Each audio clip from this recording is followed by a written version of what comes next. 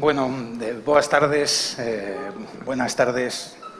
Eh, muchas gracias en primer lugar a la Fundación. Moitas gracias en primeiro lugar á Fundación Paideia e a Xunta, a Consellería de Cultura,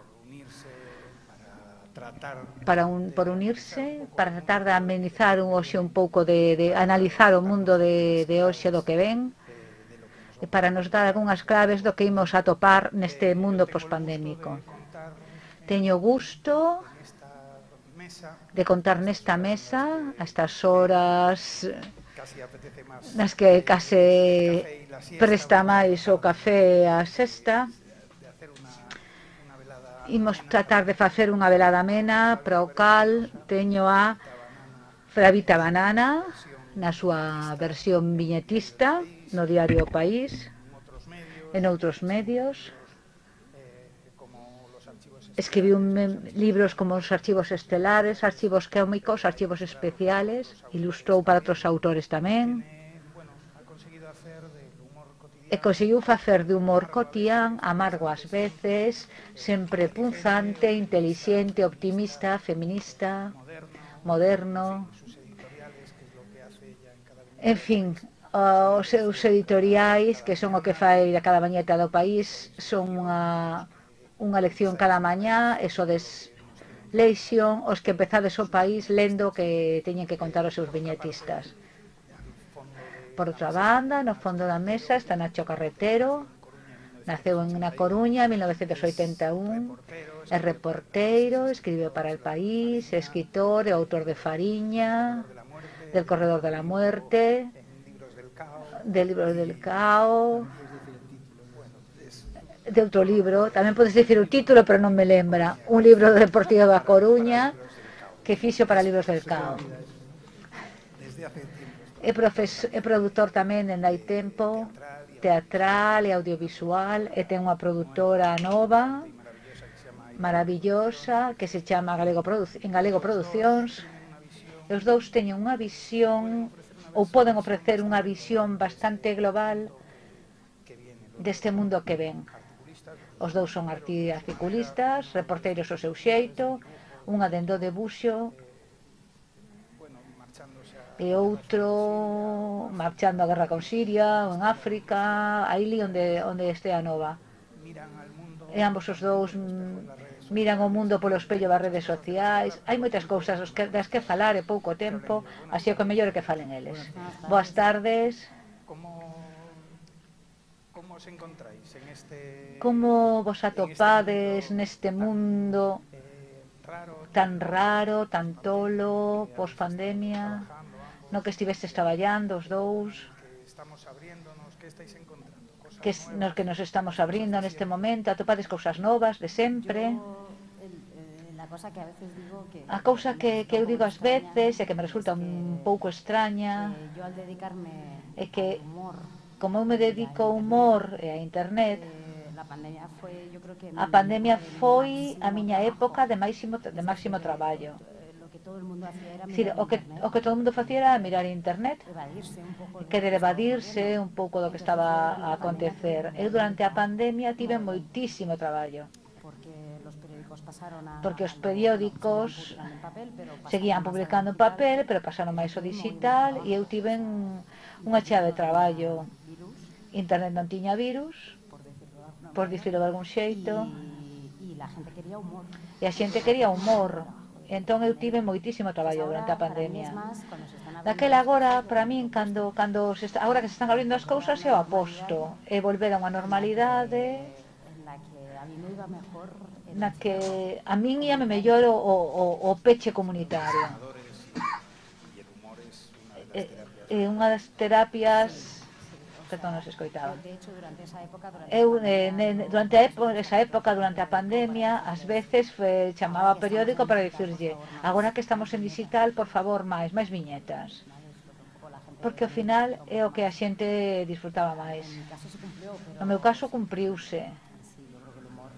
Pero, en fin, eu creo que o humor... Eh, moitos casos para Ni sequera en moitos casos para moita xente non era algo malo.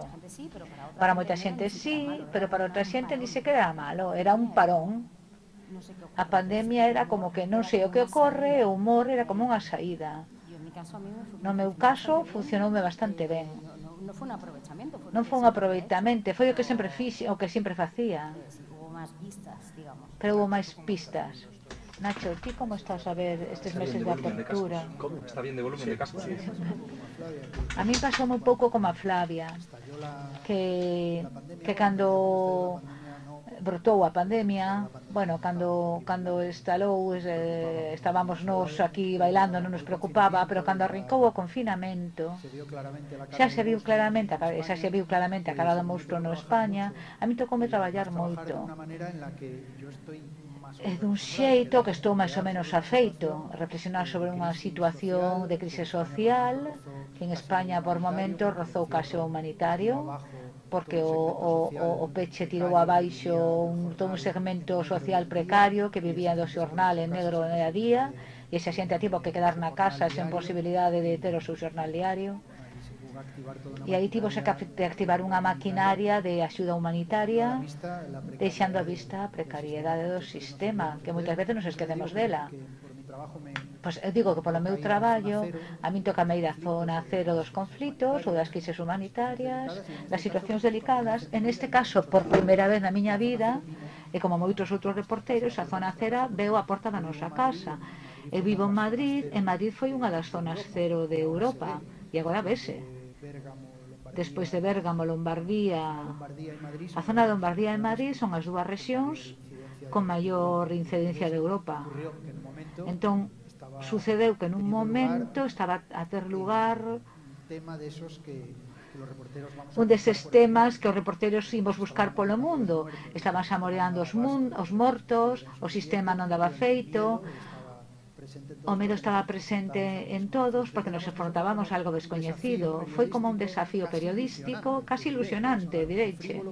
Pode soar frívolo, pero no sentido profesional, para min era algo que merecía ser contado, investigado, había que moverse, un non parei, de hospitais, as casas, a outros sitios, e así pillei o coronavirus, claro porque además non tiña nin idea de como de como había que facer as eh, cousas. E, entonces, bueno, ese primeiro impasse, digamos, foi Ese primeiro impasse foi un impasse profesionalmente emocionante, iso influiu no persoal, a cousa foise despois demorando, por ignorancia, eu tampouco sabía que nos íamos a enfrontar a un proceso tan longo, nin tedioso, e agora estou expectante, porque creo que estamos nunha posición privilexiada, porque cun país con segmento caso de negacionistas, hainos, pero comparado con estándar europeo, estadounidense e ainda máis, hai pouca xente que se nega a vacinarse, así que a porcentaxe de vacinados é altísima, e xa convida a vida normal e expectante en que chegar a esa vida xa máis que normal vai ser sobrenormal, creo.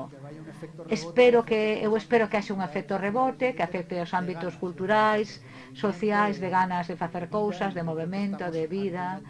Coito que estamos ante unha etapa que espero con moita expectación, moi interesante, con moitísimo movimento, moitísima iniciativa. A min interesame de volos dous a faceta que tendes circular. Os dous mirades os dous mundos, os dous publicades en xornais de papel, os dous tendes unha vida despois a través de internet. Hai uns días, cando preparábamos eh, esta charla, e tiñamos que tomar contacto, eu dicía a Flavia, vamos falar disto porque imos falar de como o teu mundo ten que ver co papel e ten que ver con internet tamén. Flavia viñetista no país e deixounos alucinados cando nos dixo va, é que se non é por internet dixo, se só fora por el país a min que me coñecería que ven ser o mesmo. Cando nos temos unha mirada totémica aínda cara os medios de comunicación, a mí pásame que unha crítica nun libro, se xa en Babelia, sigue parecéndome que ten un valor singular, moito máis elevado que o que que, que lle poida dar un, un booktuber de Instagram, cando probablemente non haxa que miralo así. Contádeme como é a combinación deses mundos. Como faz ti? Ti te 600 e pico mil seguidores en Instagram, ti Nacho, 70.000, unha barbaridade en Twitter, en Instagram, nada. Sí. Contádame como é a vosa relación cos medios. No, Twitter xa vai, vai xa a escola. Twitter é de escribir, Instagram é de imaxes. Que se a un escritor non ten moito sentido estar en Instagram. Twitter tamén é máis agresivo, non? máis cáustico. Eu en Twitter abrín a conta só para que non me collesen o nome. Pero non o sei usar, nunca aprendín. Ensino che dime, non, non, non outra rede social non. Eu quero o teléfono, ver os meus whatsapps da xente que coñezo, o meu Instagram e máis nada, por favor, de Twitter non quero entrar nese mundo. Eh, yo creo que bueno, lo que decíamos, yo para mí Eu creo que para min, o que che dicía, eu acabei facendo unha viñeta na que dicía, eu nacín bella, A viñeta non tiña máis que si, sí, eu sentada ao lado do mar, eh, botando... Dice, eu nacín bella, porque decateime de que, para mí, entre outras cousas, o objetivo é o papel. Publicar libros, publicar nos xornais, e dubido que a xente da miña xeración mesmo anterior sexa ese o seu objetivo. O objetivo normalmente é o digital, triunfar no digital. Yo abrí, yo empecé Eu empecé, eu non empecé nos xornais polos xornais, empecé coas redes sociais. E a raíz de aí, e sobre todo, algo que, que isto non se pode ensinar nas universidades, que hai que ser eh, encantadora e simpática, porque senón non, non lle caes ben a xente,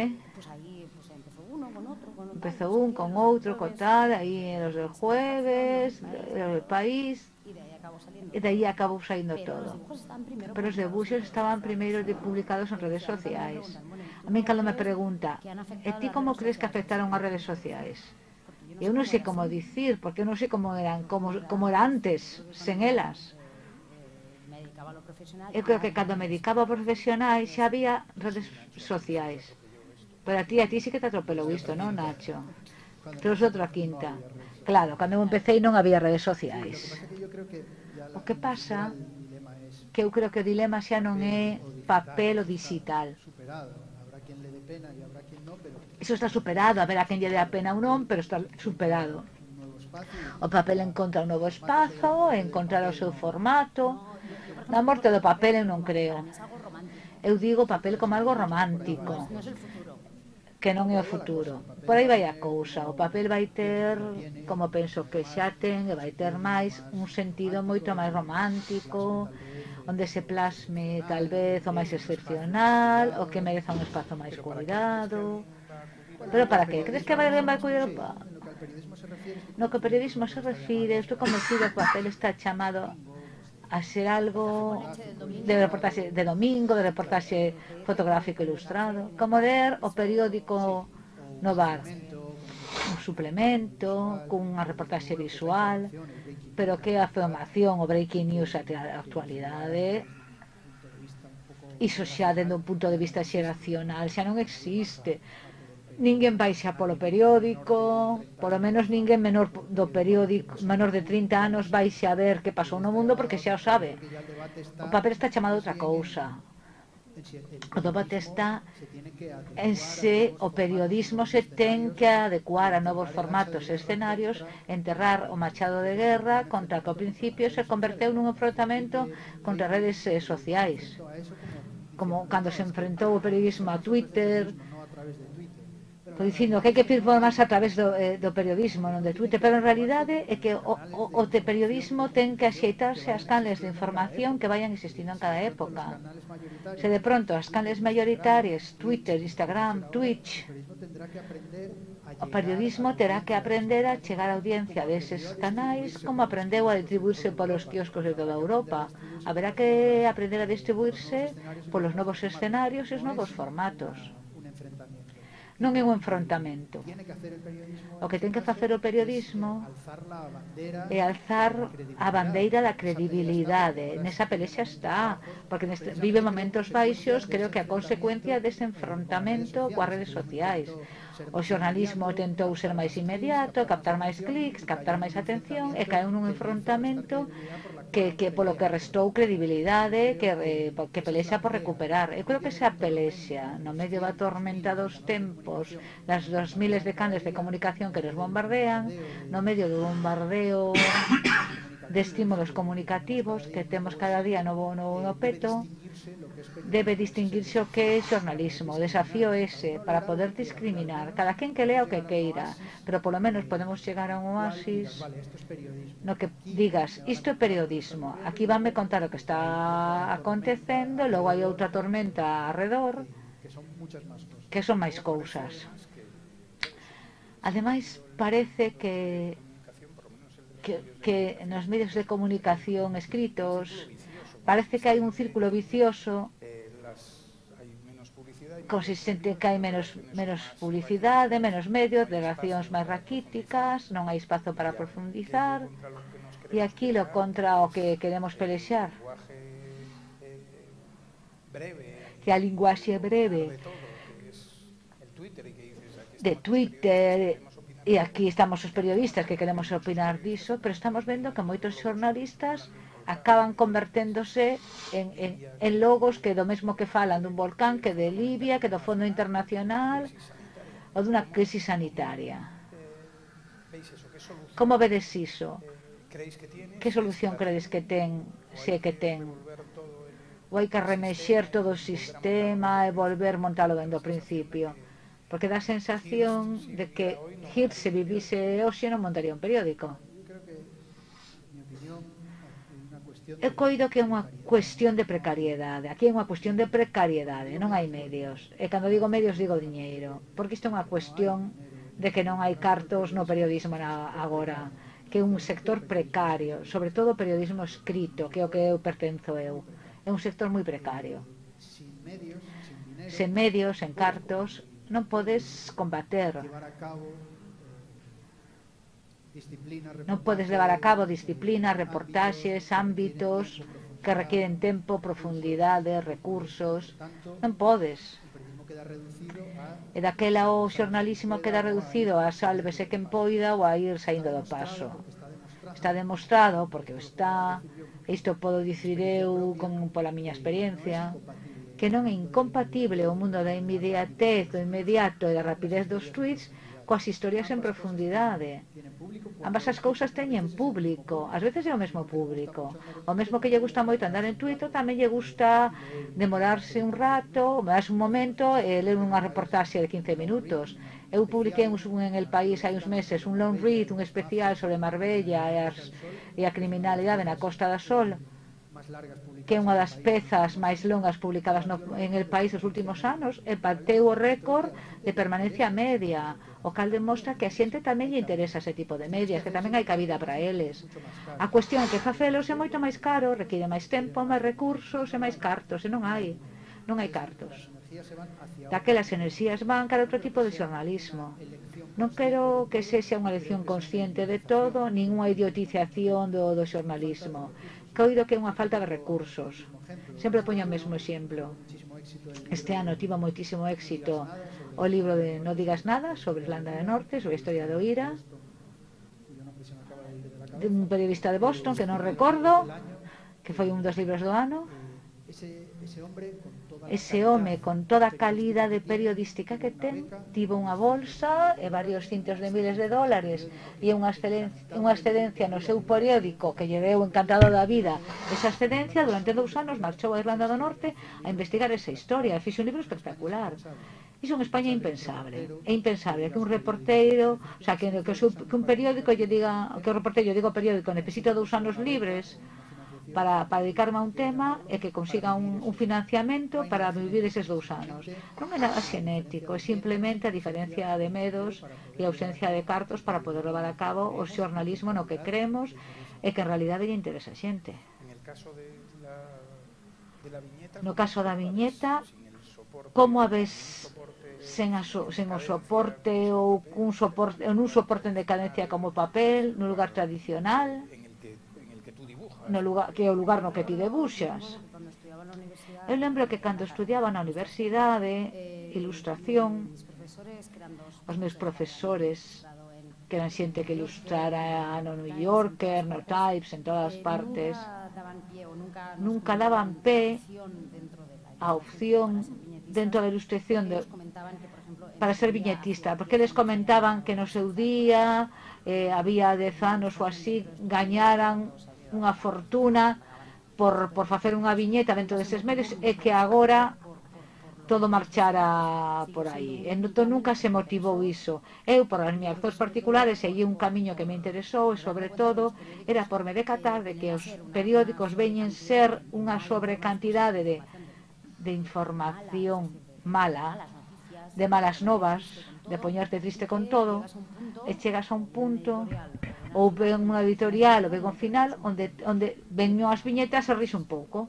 E eu pensaba bueno, eso tamén é un camiño para a ilustración si tamén pode ser pública, ter a túa opinión e dar unha, unha volta de torca unha volta eh, eh, que vas contando los tacos que eh, bueno, porque vas eh, contando eh, que, que, os pecados que voto puedo estar hablando del mismo tema. Podo estar falando do mesmo tema. Do mismo tema de, de, de, del volcán, de do volcán, da guerra, do que sexa, pero dándolle unha reviravolta.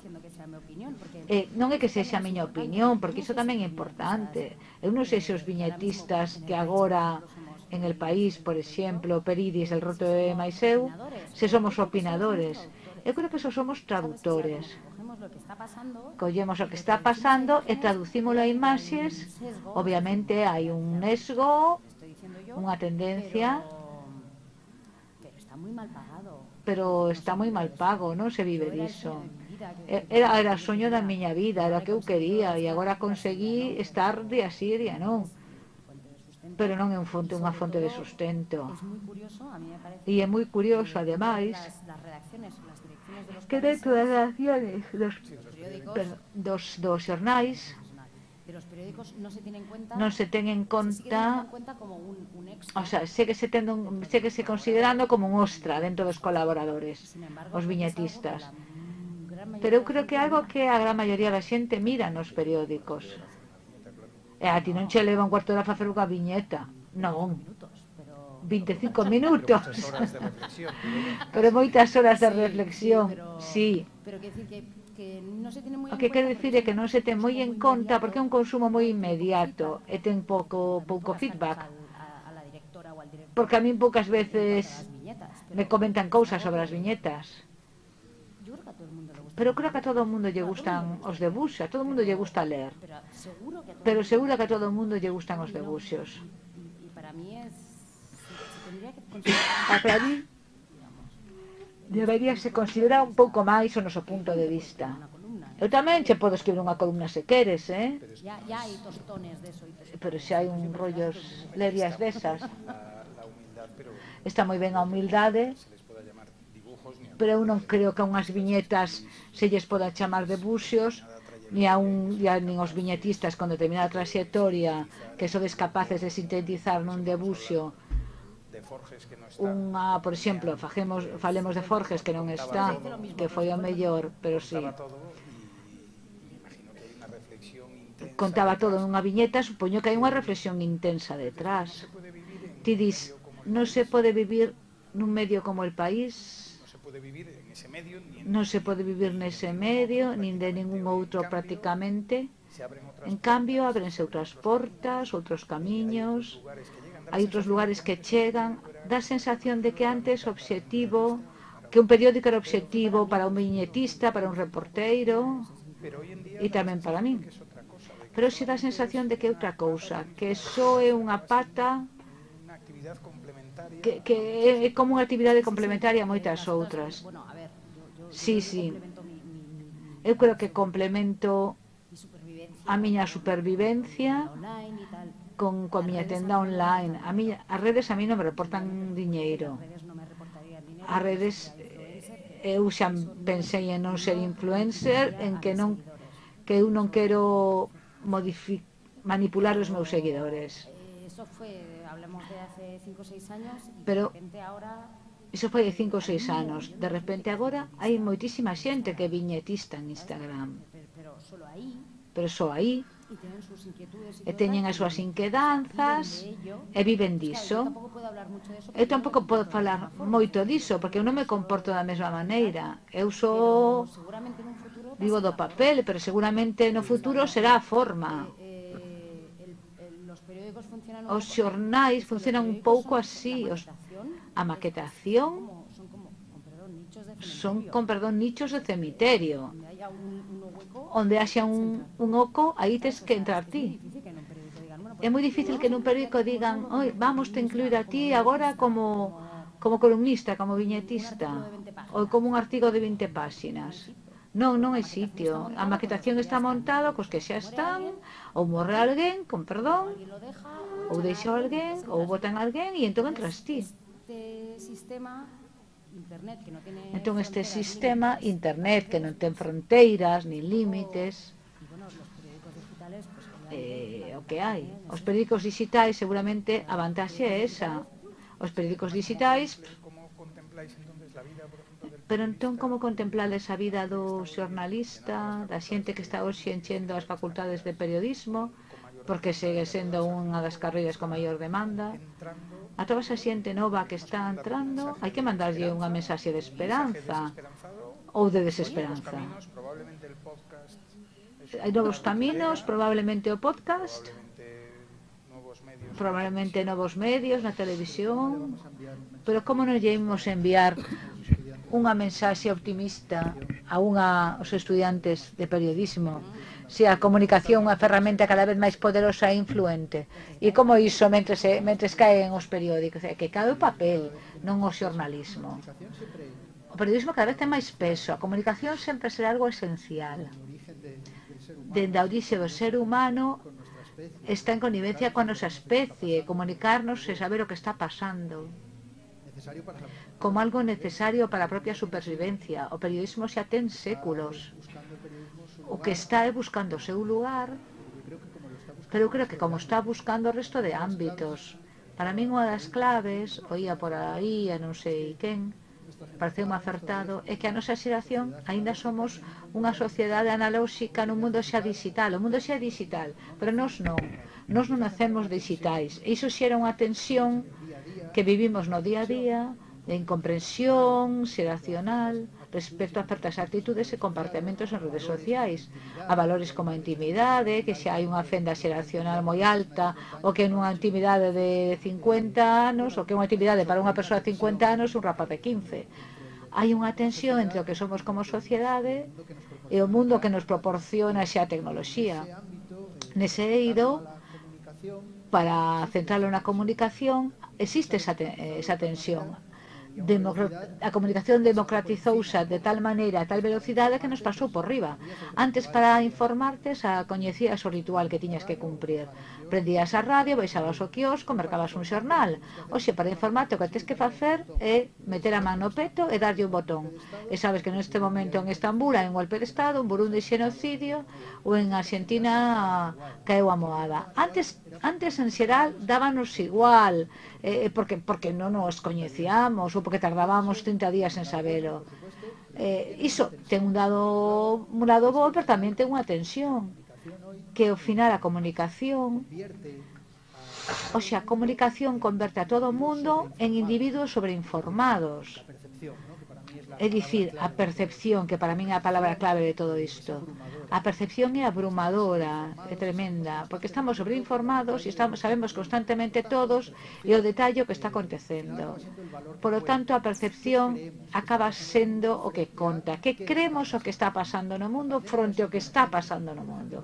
A pandemia é un bo exemplo, o exercicio periodístico que se fixo da pandemia, que merece unha crítica severa, na miña opinión, sobre todo na última etapa, é un bo exemplo. A pandemia está controlada en España, É un risco mínimo, prácticamente non hai incidencia, pero cando hai un poquito de un poquinho de incidencia, xa abren telediarios e portadas dicindo alerta, sobe a incidencia en La Rioja. Que significa sube la incidencia en La Rioja? Que tres tipos colleron o coronavirus na Rioja, pero está na UCI, periga o sistema, colapsa, hai brotes, hai gromos, prexudica alguén. Está morrendo xente, a percepción é outra. Poño un exemplo próximo no, no tempo que nos toca a todos de cerca. A diferencia entre percepción a consecuencia dunha sobreinformación e realidade, coido que é o máximo desafío que temos agora. Tamén pasa coa criminalidade en España, coa inseguridade. O país coas taxas de criminalidade máis baixas de Europa, absolutamente seguro, apenas hai asasinatos, hai asaltos, Que sucede cando ten lugar un? Que se trata comunicativamente dunha maneira que nos fai percibir que temos un problema? Que este entón é a gran frase ai, este mundo marcha verda, este mundo está tolo. e que está peor que nunca a idea de que a nosa sociedade de que o mundo está peor que nunca é unha idea que está calando na sociedade. Eh, con moito interese periódico comunicativamente. A idea de que o sistema está fallando de que imos a merda alimenta os totalitarismos, alimenta as ideas de resetear. Vale, se o sistema está fallando, hai que tomar... Eh, hai que derrubar o sistema e implementar outros medios. Estou me quedallando moito para dicir que a percepción fronte á realidade é o gran desafío do periodismo. E o periodismo que sempre tivo este desafío ve ese, iso mesmo multiplicado por mil nun mundo en que estamos informado, informados o segundo de todo o que sucede. Para min ese un dos retos que ten por diante a comunicación é importante que novas xeracións que agora están na universidade veñan e poñan o seu punto de vista, a súa experiencia e o seu entendemento de como funciona o seu mundo para seguir aplicando este gran desafío e esta gran dicotomía. Por iso é máis necesario que nunca que os rapaces e rapazas estuden periodismo para que nos axuden a facer un mundo máis completo e un mellor periodismo. Perdón polo desbarre. Bueno, non, está claro que dicías eh, eh, eh, as redes, os xornais, a radio, a tele, como mensaxe. Eu creo que salvo eles, da información as, no, as noticias, o que está ocorrendo é a mensaxe. Pero o que sucede agora coas redes é que non é a mensaxe, é o medio. As noticias e todo o que sucede a través de Twitter, que é o máis actualizado. O que está correndo é que xa non se ten en conta, a xente non entra e ve, e ve iso como a mensaxe. Veo, ve, ve iso como un medio. O que deu internet, a megademocracia, é que a vez que sucede algo, Esa xente persa a súa maneira de velo inmediatamente. E entón fan o teléfono ruso. Ti podes acabar enterándote de algo porque viches un re, re, re, re, retweet. E entón das, vas a outra resposta, outra resposta e outro lado.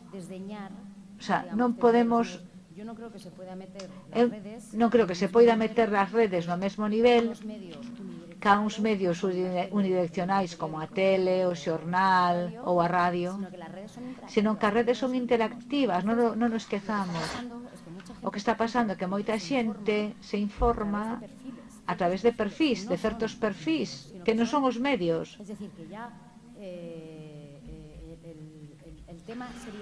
O tema sería como facer que o periodismo estivese en redes que non deje de ser que non deixe de ser interactivo, porque é importante que a xente poida dicir o que pensa, pero o que está ocorrendo é que o lector ou o lector, espectador, espectadora, xa non ve a diferenza entre cal é a información contrastada e profesional.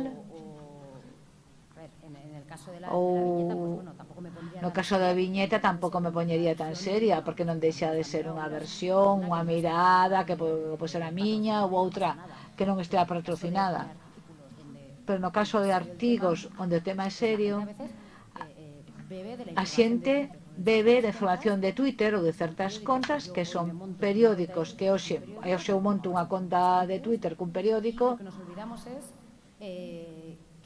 e esquecemos o vou aquí o a, como é a bidireccionalidade que é o que pode dicir a xente? Para mí é un problema que fai moito dano esa bidireccionalidade. Eu sempre digo, eu teño moita máis liberdade comunicando no país que en Instagram. Por que? A miña propia. Que poño eu en cada lugar? En Instagram, segundo que poña, eu vou ver o que me di a xente. A xente pode dicir calquera cousa. Porque pode. Non bloqueas ni tienes... Non bloqueas, non, eu non fago iso o que fago restringir, que é unha ferramenta fantástica. A xente pode dicir o que queira, pero só ve xo eu, el, a outra xente non o ven. Esa persoa sigue hablando, pero non Esa persoa sigue a falar, pero non ve ninguén. Iso é moi importante, esa ferramenta, restringir. Estou de acordo co que dis. En realidade, a democratización da comunicación en abs tan absoluta ten unha cara de moi clara o último idiota pode dar a súa opinión e ti que non tes a culpa os dous minutos está la lendo. Dice, pero por que estou lendo a opinión desta idiota? E iso intoxica. Como separas o gran da palla? Unha cousa que cho digan a ti, vale, nos podemos queixar, pero o tema é por que xente que non ten información de onde poder buscala cae nunha conta de Twitter, de Instagram ou dun periodicucho ficticio que non pertence a nada e aí é onde colle as cousas. Por iso, o desafío do periodismo é izar unha bandeira no medio desa tormenta de información para que a xente saiba onde pode acudir dentro do espectro das ideas editoriais, pero que sexa un espazo recoñecible onde te podes informar. O resto está baixo a túa responsabilidade que confíes ou non. E eu coido que ese é o desafío periodístico porque esa atención da que, da que ela fala Estamos aí, aínda estamos aprendendo. Tal vez dentro de dúas xeracións vexan como utilizamos as redes sociais e digan, pero estabades tolos, pero que facíades? Mira, linchades a xente, provocades despidos. O de todo pensaría, pero como deixabas que, te, que, che, que te comentasen? Claro, esas xeracións poden pesar, de igual maneira que agora vemos un programa de televisión dos 80 e dicimos, pero que coisa, pero que horror, pero que isto, isto machismo, isto racismo, isto sensacionalismo. Mira, los candadizastes dentro de 40 50 anos mirarán os tweets que poñemos e mirarán como interaccionamos as cousas que lle dicimos a xente dirán pero vos estabades guillados e esa tensión da que eu falaba que aínda nos manexamos que estamos manexando un escenario que nos levou, chegou de golpe en esa tensión o, o xornalismo ten ese papel que distinguirse. e se separan o da palla corresponde o periódico ou o periodista. Por exemplo Nacho tiveste facendo un crowdfunding para marchar a investigar a situación en Etiopía e un número determinado de lectores colaborando e ti marchando con ese diñeiro para faceres un artigo determinado? Flavia, bueno, claro, Flavia. Ou Flavia, claro, Flavia ten unha vertente distinta que a da autora literaria tamén. E claro, se alimentan eh, las, las propias eh, e alimentanse as propias de esos libros. Pero como veis unha, uns libros doutros, pero como vedes esa posibilidade? Claro, cada vez uno ve menos porque creo que cada vez un ve menos vou com, comprar o mundo, o país, eh, a voz de Galicia, el enfado de Vigo, vou ver a ver que vou ver que di, por se son do Celta, a ver que di Juan Carlos Álvarez. Ou a ver que conta da reforma fiscal, que ten que dicir unha persoa concreta da que eu me fío. Eu creo que, unha, que hai unha cousa moi importante que polo menos a xente máis nova que mellor non ten este costume de ler o periódico ou de entrar nas webs dos periódicos. Xa non digo comprar o periódico de papel sino a través da web. hai unha cousa, unha cousa que moita xente non sabe que a xente xoven, a xente nova di este periódico de dereitas, de cerca, de... na miña casa este non se lee rapazada tiene que aprender ahora... O que a rapazada ten que aprender, e mesmo xente maior que, mellor, que se cadra non o sabe, é que os periódicos son como cidades. E os seus suplementos, por exemplo, o de libros, o de tempo, deportes, son como barrios, son independentes dentro da cidade. Por exemplo, un periódico como La Razón, que non, vou dic, non, que non é santo da miña devoción, ten o mellor suplementos de libros que eu puiden ver. Entón, eu entro na web da Razón, vou ao suplemento de libros, e xa está. E eu creo que é importante esta cuadrícula que hai. Este periódico é isto, este periódico é outro. Ten, tende en conta os colaboradores, que son os nós, porque ao final non se trata de decir, ao final vamos onde, onde nos dá máis diñeiro. Pero a tendencia política que teñan o mellor a pesar diso vou facer o que eu quero eu creo que é importante salientar iso que nos abramos un pouco dentro do periodismo porque senón ao final somos todos víctimas todos os que traballamos en periódicos somos víctimas dunha precariedade bastante forte Pero como os veis? Os veis trabajando... Pero como vos vedes? Traballando cunha forma, cunha firma, como Credes que os tiros poden ir por aí como traballar como freelance por solto? Non sei. Como? Con outras formas de financiamento alternativo, alternativas? Non sei se é unha decisión moi consciente, porque xa está ocorrendo. O mellor estou reiterativo, pero se cada responde á realidade que nos rodea e a realidade que se ti visible, o teu traballo te fai visible, tes canles de acceso a xente para que estea cerca de ti, pois inevitablemente podes emprender o teu propio camiño. Non te vas limitar ao medio correspondente a responder só nese marco. Oxe o espazo está gañado de antemán. Antes tiñas que gañar un espazo para dicir algo. Antes escribía nunha tribuna, quen sabe, Vargallosas, por exemplo, e aí quedaba e gañaba ese espazo e ti contestabas a Vargallosa, ou non. E se escribe unha tribuna a alguén importante, hoxe escribe unha apertura a alguén importante, eu respondo e esta... O espazo está, ga, está gañado de antemán e iso, iso cambia as reglas do xogo tanto para a audiencia como para que nos dedicamos a isto. Temos un espazo agora aberto, co cal podes emprender o teu propio camiño ese camiño, ten unha cara B que tampouco é consciente a que Flavia facía referencia que ás veces freas porque é hostil, porque é difícil emprender o teu propio camiño e interaccionar polo mundo. Que no mundo hai de todo. Hai xente que te vai intentar amargar o día que te vai intoxicar e entón acabas autocensurando no meu caso. Eu hai tempo que deixei de opinar, de ir a internet. Non me compensa ni me interesa. Entón ten esa cara de, pero indiscutiblemente o escenario para aprender o teu propio camiño está aí. Non é incompatible con pertencer a un medio ou publicar nun medio. No teu caso concreto, Nacho, que és reporteiro, que faz periodismo de investigación e agora fundaches unha produtora na que podes na que esas historias que tú buscaches eses mundos nos que indagaches esas conversas esas confesións poden ter unha vida nova, unha vida distinta, máis ampla. Contanos dese camiño. Sí, outra cousa que vexo como inevitable a transformación da forma do periodismo. Antes era máis limitado, lóxicamente tiñen unhas formas máis concretas, pois no caso do xornalismo escrito ocurrí, ocorría algo, tra, se transformaba nun artigo, nun, nunha reportaxe, cuns elementos recoñecibles e limitados no medio concreto. Hoxendía ese mismo feito pode transmitirse de forma xornalística e despois transformarse en máis cousas que se dan a man co, co xornalismo, unha hibridación entre cultura e xornalismo, se é que son dous conceptos distintos, é que é inevitable. O xornalismo...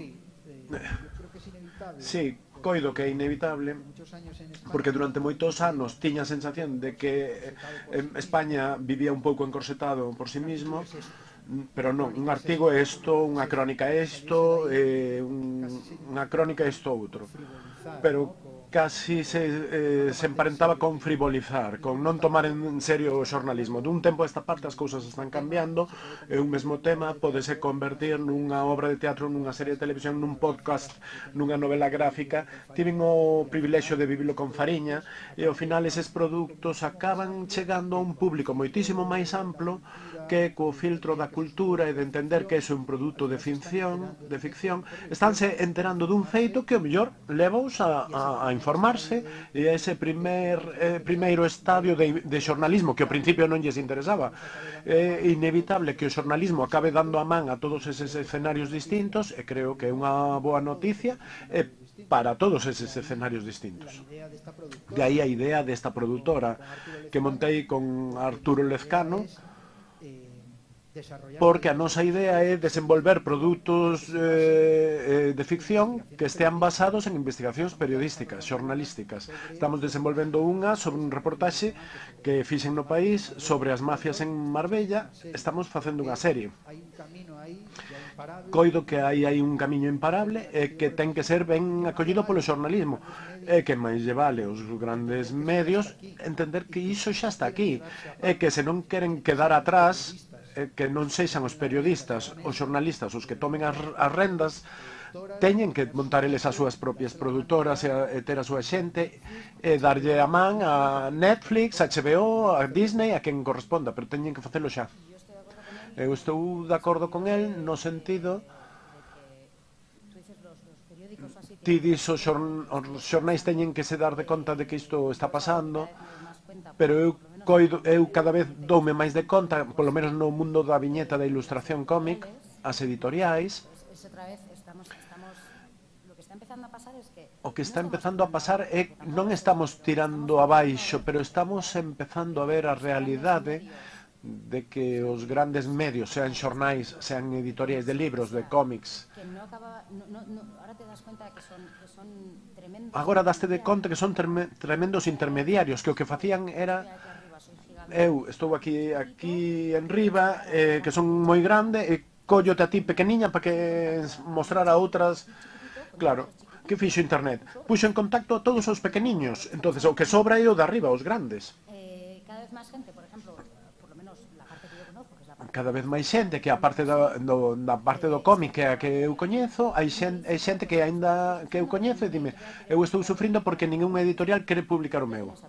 Pero ti xa tes o teu público. Pódelo contabilizar, aí está. ¿Por que non o publicas ti? Como permites que viva dese oficio? Pois que fago os libros e que os venda a toda esta xente que o está seguindo. Eu, con toda a xente que me segue, eh, eu non vendo tantos libros como seguidores teño. O gallá, pero pero podo... Ti sí, non? 600.000 é moi gordo. No, pero, pero decir no que... é nuestra culpa, é que en España non se lee. Bueno, Flavio... Eh, ah, non é a nosa culpa, é que en España non se lee. Ah, yo leo mucho. Destrozando la media. Pero leo yo, non hago... Bueno, intento hacer que la gente lea. Eu tento facer que a xente lea. Pero unha cousa que sí que está a pasar... Antes botaba pestes de internet. Antes botaba pestes de internet. As, as, a min pareceme perfecto que se poñan o meu nivel, pero eu traballei nun estamento e, e tú estásme respondendo en 10 segundos. Eso é o que me molesta a min. Eu teño contacto directo con meu público inter, na internet. Por que non empezamos a botar abaixo todas estas estruturas patriarcais, e vou non dicir patriarcais porque son rígidas e verticais, que é algo moi xerárquico, eu estou por riba, se, se queres se queres publicar tens que falar co representante, que fará co editor, que falará con o de máis arriba. Neste momento, certos compañeiros eh, que debuxan que debuxan está, está sido indo moi ben en internet. Eh, eu se queres, voto unha man para publicar polo, pola túa conta. E, e pasas de, desta xente das editoriais. Todas estas estruturas rígidas a min é unha cousa que eu que estou no xornal e que as asumo siguen, seguenme a parecer un pouco rígida e, e, e isto ten que cambiar un pouco. Eu digo que son que sexan máis flexibles e ti dis que sexan máis expansivas. Ou que xunten uns medios con outros. No meu antes era un embudo. Queres publicar? Un libro, un cómic, un artigo o que sexa. Mándalo a tal e había un embudo e a esta persoa ahora xa sabes a quen lle gustas. Entonces, fai no ti. Estamos empezando a desmontar uns, non mitos, pero unhas estruturas que conviñan moito dunha montaxe que disfunciona e que filtra e que fai o que quere. Pero coido que agora hai saírse do ríxido e hai que ser máis maleable, máis flexible. Isto xa está a ocorrer, está ocorrendo moito. É unha revolución marxista-leninista, porque viola as leis de produción.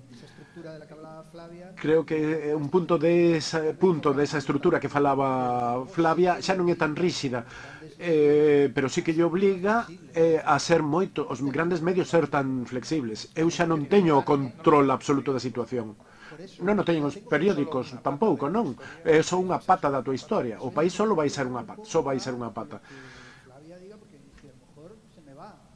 Claro, eh, claro, eu non podo dicir eh, non tenme que dar igual que Flavia diga porque o mellor ma marcha do periódico e a mí non me interesa que, mar que marche Flavia.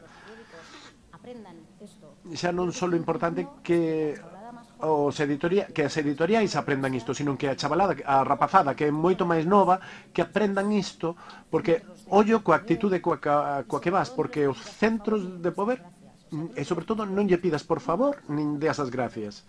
Tú que tes que dicir eh, tú se non fas as cousas como eu quero, eu vou, vou non montar pola miña conta. A min gustan os periódicos, serei unha serei unha romántica, unha bella, pero eu eu quero debuxar no país. Eu eu se quixera ser millonaria, montaría montaría pola miña conta, min, mesmo montaría un, un xornal. Pero a min gustame estar aí. Hoxe en día a xente o que ten que acabar é con isto do señor e o, e o servo. Chámate unha editorial para publicar o teu libro, bueno, os amigos vanme publicar o, o, o meu coming, deille as grazas. Non lle deas as grazas. As grazas teñen xa que dar eles. E isto é un pouco o que ten que empezar a cambiar. A información témola nós. A información témola nós e o público está aí. Que o público tamén é interactivo, que era o que dicíamos. Esas figuras intermediarias de poder, a logística, que sí que é esa que é inevitable,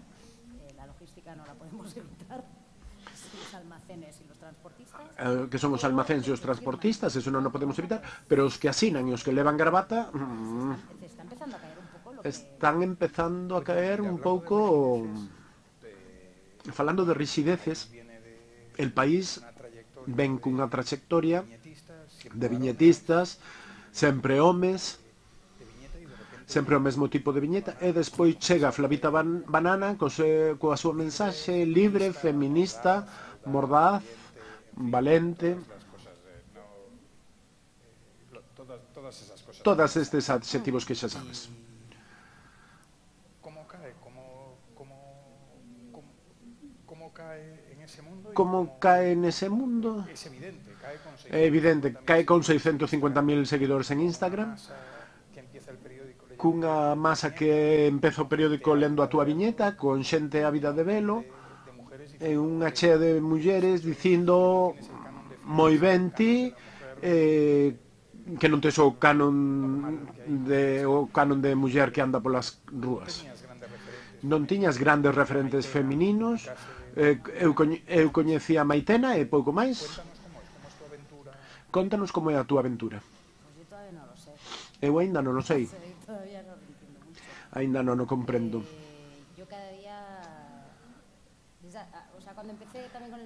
Cando empecé co xornal, co país, sempre estaba a dicir que sorte teño, que sorte teño, que sorte teño, e despois eh, obligueime a pensar que sorte teñen eles, que sorte teñen eles. Esto tam, este chip tamén hai que temos que cambiálo un pouco.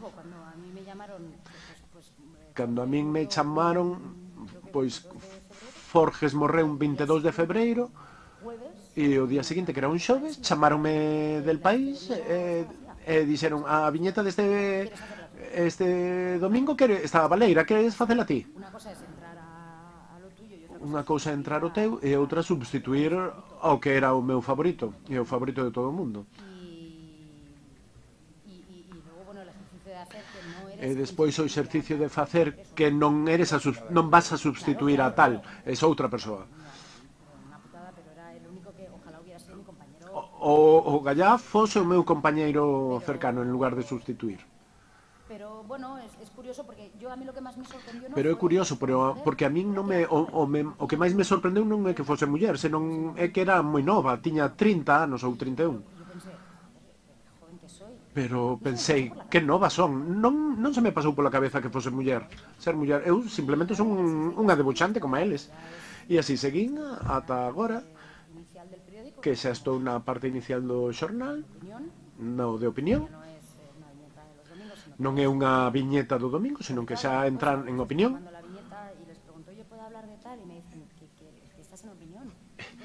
Eu ás veces pregunto, podo falar de tal? E eles dime, que estás, que estás en opinión, podes falar do que queiras. Outro día morreu o meu gato e fixen unha billeta de que me morrera o gato. Non sei, é difícil porque estás navegando... É difícil porque estás navegando nun mar como muller onde non tiveches ningún referente. Pero ti es consciente de esa masa de lectoras que atoparon si unha fantasía, todas. As miñas amigas todas. An, xusto xusto falamos coa que ten que falar a charla de ciencia, eh, falamos da sororidade, pois eso, que xuntámonos como, eh, como todas, como se nos coñecésemos todas. Eu teño 600.000 amigas, nin tan mal. No, eh, o, o, si, yo lo veo así, porque además yo tengo un porcentaje. Eu vexo así, porque ademais eu teño un, unha porcentaxe de mulleres moito máis alta que homes. Esa consciente será proa dun transatlántico que ven cargado de, de mulleres novas, cheas de talento, e a que non lle gustaría ser esa proa. Non che gustaría a ti, Domingo, ser esa proa? Pero eres consciente de traelo barco cheo? Pois eu encantada da vida. Crees que veñen mulleres detrás, atrás con esas ganas? Eu cando me dei de conta que non tiven referentes, pois vou ter que ser eu. Non? É o que me toca. Imos intentar facelo ben ou parecer encantadora ou ou próxima ou ou dura en ocasións. Dura con elas nunca. No, pero es que, que eh, eh, bueno, lo que siempre se dice lo junco, ¿no? O, sea, o que, eso, pero... o que se di do xunco, que, que teso pero flexible. Eh, yo sempre que dou consejos a, a jóvenes... Sempre que dou consello a, a, a ilustradoras ou novas... Con los medios e tal, sempre digo... Eh, eu sempre digo, amable pero firme. Nunca perdamos los modos. Nunca perdamos los modos. No pero tampouco deixemos que nos trepen. Sobre todo coas rapazas. E creo que está indo ben, ou parece a mí. Eu sempre terei a dúbida de se os xornais ou no país, ou en el país, se me colleron por, eh, porque era muller. Eso nunca, nunca sale da cabeza, nunca sae da cabeza tiñan que encher o cupo, cubrir o cupo e me meteron a min. Bueno, pois xa que me meteron, a egua de Troia. Eh, vou entrar aí e soltar os meus soldados. É a única maneira de facelo. Tú, de que, tes a sensación... no meu foi a cota de galegos. Notas unha forza femenina en opinión nos medios, na cultura? Tan arrolladora como se ve. Na literatura, sí pero na ciencia, na medicina ora, ora ora era xa. O que debería ser chamativo é que estea a ocorrer por primeira vez na historia. Isto non é algo cíclico. Esa época non existiu. Entonces, xa levamos uns cantos anos de historia da humanidade, e se a historia da humanidade fose unha liña, nin sequera veríamos apuntan na que as mulleres empezaron a reivindicar ou ter algo aproximado os mesmos dereitos cos homes. E todo e todo ese traxecto sería a última punta que é o que no que está agora.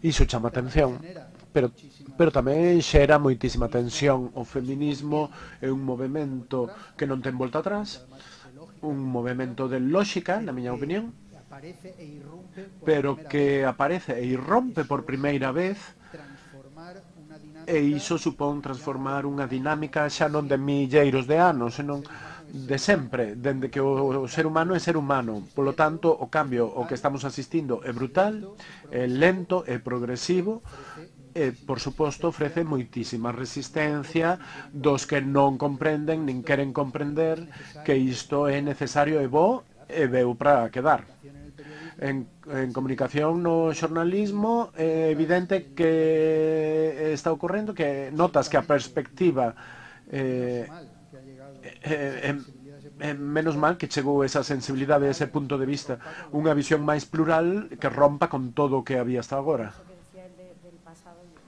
Con isto que digo do, do pasado, eu tiña unha billeta que era iso como unha aula un profesor ou profesora que lle decía, bueno, se puiderades viaxar no tempo que vos gustaría facer. Hai un rapaz en primeira fila que di, ah, eu iría á época romana e sería un César. O segundo, eu iría á época medieval e sería un cabaleiro da, mesa, da tabua redonda. Eu sería...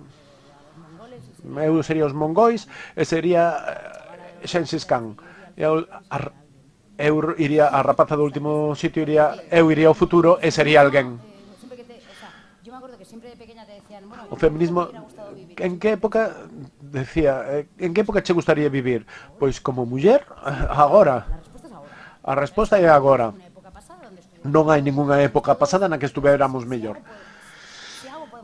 Se algo podemos facer, eu fareino. Polas rapazas. Bueno, primeiro por mí primeiro por min e despois polas rapazas.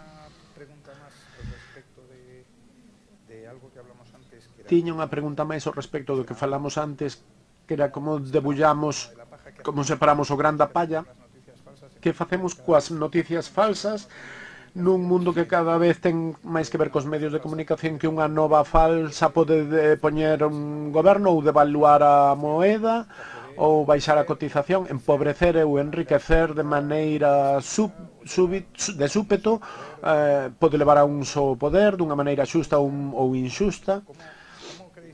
Como credes que se pode controlar iso? Que hai algunha receita para isto? Non, non hai unha receita milagreira, pero que, que se vos ocorre? Que dá sensación de que a xente que ven atrás, por atrás atopa moitos referentes meu vexo nos meus fillos teñen referentes que non, non teñen referentes no seu, son pioneiros, están andando o camiño polo por primeira vez. O instagramers ou youtubers eu o meu vai ser breve. Eu só creo Unha das cousas máis estáticas que segue a existir é o sistema educativo. A escolarización eu falando con cativos moi pequenos de cales son as súas as súas materias, non cambiou nada de cando eu estudiaba ou cando ti estudiabas, non cambiou nada. E iso creo que debería adaptarse e debería haber eh, educación internautica ou como se chame, unha unha materia unha materia que inclúa todo. Como manexar como tamén a nivel técnico como se usa, pero como defenderte, sobre todo como defenderte con aplicacións. Internet, a internet é todo, pero na escola están con orden, sí, bueno, están con ordenadores. Pero non les enseñan. Pero non non lles ensenan, ensinan imagínate Imagínate que a moda fose poñer, poñerse a escribir libros sin mm, facer caso. Eh, claro, o, o Gallás se puxera eso. Ahora están bailando en TikTok, pero eh, información, es escolarización.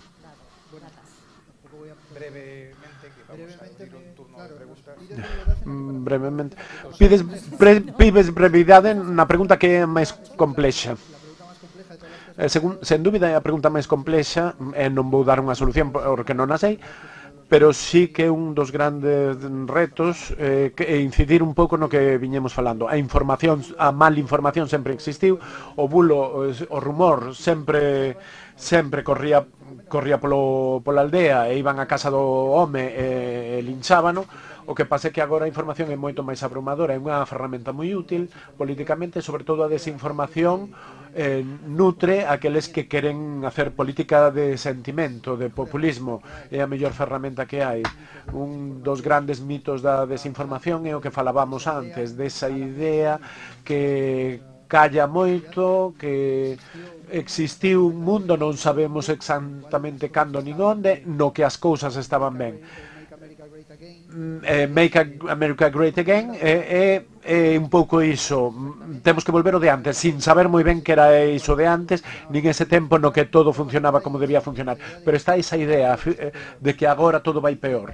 E en realidade é un gran exemplo desa desinformación que vive e vol, de facer percibir a ese eh, que a xente que todo está eh, que todo se está perdendo e necesitamos medidas eh, radicais que instauren un novo, unha nova orde.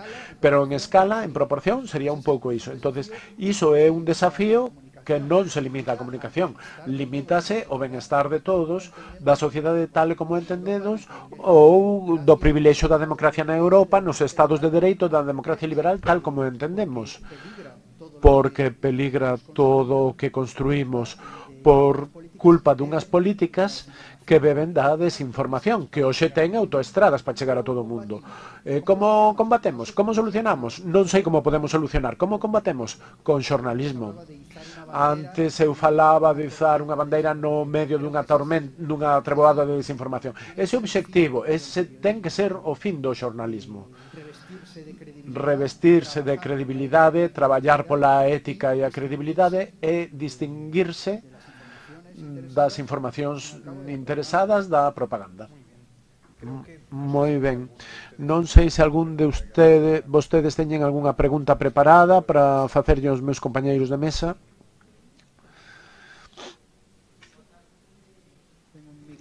Ah, hai un micro aí boa tarde. Un Hola, boa tarde. Eh, bueno, non sei se podo facer a pregunta en galego, senón sí, en castelán. Claro. Se... Perfecto, gracias. Eu me adapto. Quería preguntar, porque tamén a mesa trataba o tema do patrimonio, eh, é curioso porque ambos tratades eh, xoga, Flavita no caso das imaxes, e xeras un patrimonio que é un patrimonio artístico, está en rede, e Nacho, ti estudas ese patrimonio, esa memoria, entendido como memoria, tratáchela en fariña, na túa obra xornalística.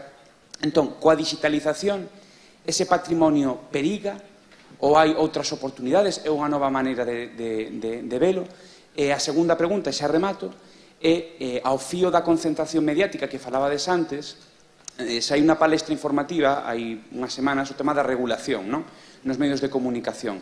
Hai cada vez medios de comunicación que están asociados en holdings ou en grandes empresas, hai unha concentración mediática importante mm. e incluso se fala de monopolio. Non?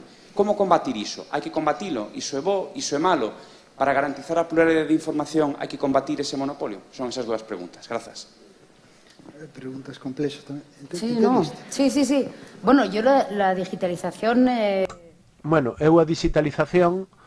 Eh, bueno, yo que sé, ahora, por ejemplo, yo, yo de hecho, eso, ¿no? eu fixen algunha viñeta diso. No, no, todo Dios está falando de plástico non, plástico non, plástico non, e eran dous árbores eh, dúas árbores que tiñan unha pancarta que decía plástico, sí. Todo de madera, todo de papel, ton, todo de cartón. Está un pouco dentro diso, como que se reivindica o papel, pero reivindico o papel, pero unha romantización do papel. Ah, se eu fixera libros e están un, en un ebook, eu chamo a ese papel. Non o papel pode ser digital. Eu cando falo de papel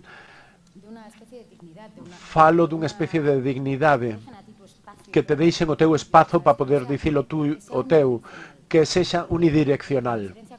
A diferencia coas redes é que para min o digital pode ser ou publicacións unidireccionais, como as publicacións en libros electrónicos, Eh, dides o tú e cada un reflexiona ou as redes onde hai é bidireccional, a xente pode comunicarse contigo.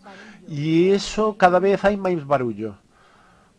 Está empezando a haber una, una especie de eh, Está empezando a haber unha especie de igualdade, que o, o gallafos é igualdade, todo o mundo fala, e ás veces iso complica as ganas que ten de mostrar o seu traballo. Para o digital sí, si, pero o virtual, non sei como do das redes, eh, eu entendo que hai xente que non se queira meter. Tú no, Nacho encandrou o patrimonio?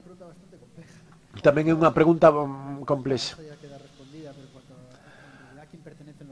a quen pertencen os medios e estes holdings empresariais que se te posa tirar do fío, chegas ao barco, Banco de Santander, ao final é o Banco de Santander quen me informa.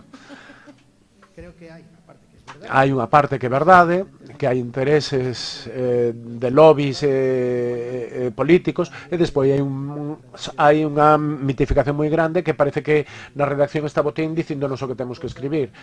Nin, non é ninguna cousa nin a outra. Eh, volvo a Estados Unidos, o Washington Post mm, pertence a Amazon, a Jen Bezos. Eh, outro Washington Post eh, sacou unha historia, historia contra Bezos que o deixou templando. Tu dis, como pode ser? Eh, eh, eu ch eh, chamaría ao, por teléfono e eh, dicía, isto non o fagades, pero non o fixo. Non vexo como que isto iso teña que ser algo pre, pre, eh, prexudicial para un tipo de xornalismo, pero sobre todo cando ten que vivir dos subscritores. E mañá o New York Times deixa de pertencer ao holding que pertence, ten 10 millóns de subscritores ten a supervivencia asegurada, non depende de ninguén máis. E iso ten que pasar aquí tamén. Eh, ao final responde a ao final responde o camiño que marque cada medio que nunca vai estar exento de quen intente controlar a información. Sempre vai existir. Non sei se hai algún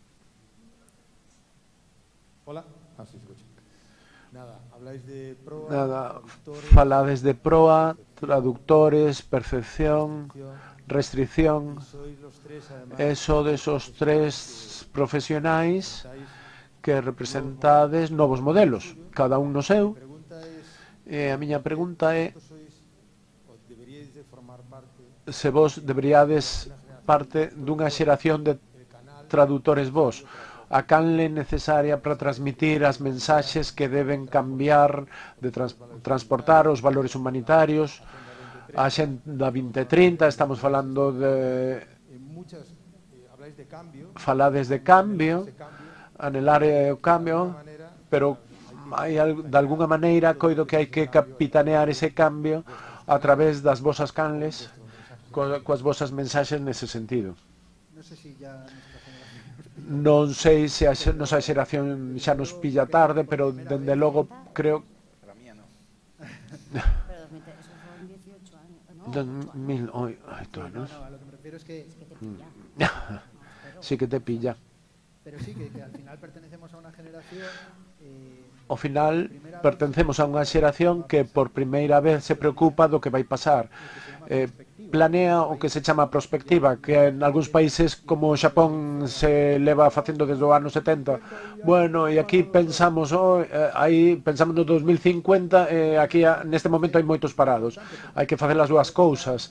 Eh, e o que decidamos hoxe vai afectar a, a xeración dos nosos fillos e nosos sobrinhos. E se descubrimos que estamos indo por este camindo, estamos hipotecando as seguintes xeracións. Estamos a tempo de corrixir eh, o mellor cos nosos recursos no, naturais igual deberíamos ir por este outro camiño e estamos solucións estamos solucionando o camiño das próximas xeracións. Estamos é a primeira vez que estamos pensando a medio e longo prazo no futuro. E isto é unha responsabilidade enorme do xornalismo, pero de to, senón tamén de todos. Creo que comunicadores deberíamos facer un exercicio didáctico e hai que facer prospectiva e cada vez máis ter a conciencia de por que contamos o que contamos e de que a maneira o que contamos pode alertar ou abrir os ollos ao mundo, á sociedade, para que pense sobre o mundo que ven e o mundo que queremos nun futuro que non tan longe. Dixen calquera cousa. No campo do feminismo concretamente,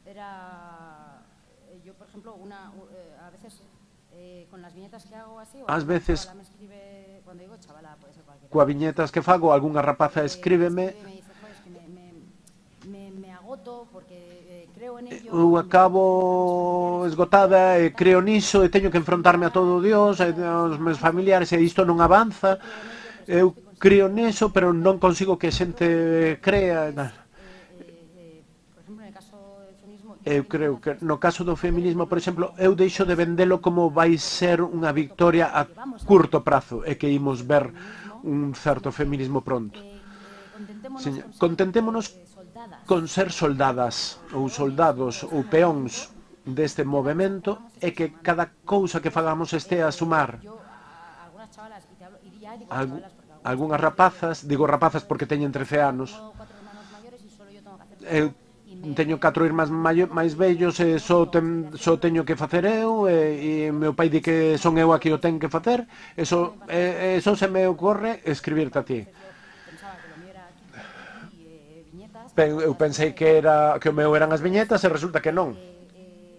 O que lle digo nese caso é deixemos de buscar obxectivos a curto prazo, Pois no feminismo non vai, pero esteamos orgullosas de cada eh, pequena microvictoria que conseguimos. Se conseguimos que alguén da nosa familia cambia o xeito de dicir as cousas, bueno, pois vamos a recoller a mesa. Eh, non, bueno, veña, deixen de dicir rapazas, recollede a mesa, eso son victorias pequenas. É un non... Eh, a nivel feminismo hai que ser máis formiguiña que outra cousa. Ir sumando pouco a pouco eh, estar un pouco cada día máis orgullosas e orgullosos. Un, un comentario e unha pregunta. Aplauda a todas as mulleres que están na proa do feminismo, así que ánimo. E hai que ser formigas e tamén elefantes. Fago a pregunta porque aquí falase moito de xornalismo, xornalismo, xornalista, un pouco esta idea de noticias fiables eh, como combatir as noticias falsas, pero tamén está ao punto da sociedade. Eu son científica. Eh, tamén falamos de divulgación, como ex incorporar expertos que non somos periodistas, que non somos xornalistas, pero que tamén podemos contribuir. Eh, por exemplo, cal é a vosa perspectiva sobre os divulgadores, os blogueiros, en temas de divulgación, como facer isto serio e para a xente que non estamos metidos no xornalismo que aprendamos a comunicar e ao mesmo tempo que se no, que nos pregunten, porque ás veces dan as noticias que o que vou é un pouco que cando falamos de xornalismo que intentemos integrarnos, que non só dende as escolas, como podemos incorporar a outros export, expertos que temos en moitos ámbitos. O sea, como, como se mide la verdad, ¿no? ¿no? Porque, porque hai periodistas que Hecho, no, y especializados. No, son periodistas que, tienen... que a veces te vienen periodistas... Ás veces veñen xornalistas cubren todo tipo de noticias. Cubren todo tipo de noticias. A, ao mellor se cadra especialización, noticias especializadas, especialización do xornalismo, pero tamén coller xente do outro currículo. Bueno, xa está ocorrendo nas redaccións, collen xente de filosofía, de estadística, de ciencias, O xornalismo hoxe é unha palabra moito máis ampla, non só se refiren ao xornalista. Eu son moi crítico coa, coa, cara, coa carreira de xornalismo o xornalismo debería ser unha especialización, coller os expertos na materia e ensinarlle, aprenderlles a comunicar. E iso podría ser, mm, respecto ao xornalismo, creo que coido que xa está a ocorrer. Hoxe en día as grandes redaccións, polo menos en España, teñen moito máis que xornalistas e están moi abertos a que cada vez o público que é un público máis formado, máis exixente, máis rigoroso, xa non vale contar as cousas porque os coitei algún sitio, escoitei, sí, vou, vou, vou escribir que fai un motor porque o, o día seguinte vanche aparecer eh, 15 enxeñeiros e 15 pilotos o que escribiches non vale para nada, eh, vai non ler todo o mundo. A exixencia hoxe en día é moito maior, porque somos unha sociedade máis formada eh, con, por iso as redaccións eh, cando falamos de xornal teñen que estar compostas de moitísimas especialidades. E iso está aí e xa está a ocorrer. E é o mesmo método tamén é un método científico a investigación, o contraste. Eso é o xornalismo.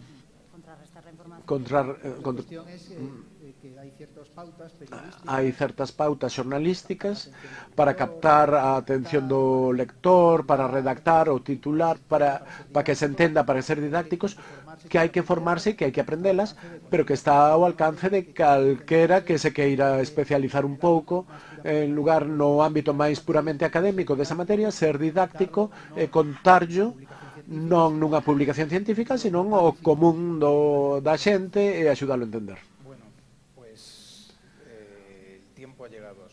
Ben, o tempo chegou ao seu fin, espero que o pasaran tan ben como a min, eh, que aprendesen como aprenden eu, e eh, saben que un luxo contar con xente do talento de Flavia, Flavita Banana e de Nacho Carretero, e pídolles un aplauso para eles.